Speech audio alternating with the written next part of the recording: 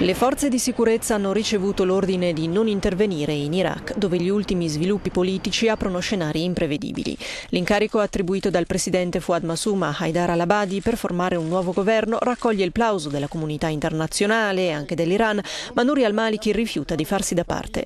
Tanti scommettono sulla sua morte politica, ma il premier uscente, che per ora impone alle forze di sicurezza di non interferire in politica, potrebbe creare problemi all'esecutivo guidato dall'ex alleato.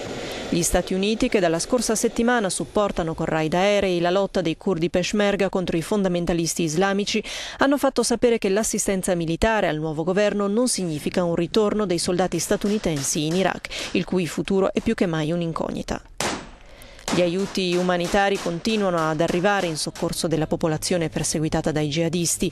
Il Regno Unito ne ha distribuiti altri e i tornado britannici sono pronti per missioni di ricognizione nella regione ma la preoccupazione maggiore è che la situazione attuale sia solo un preludio.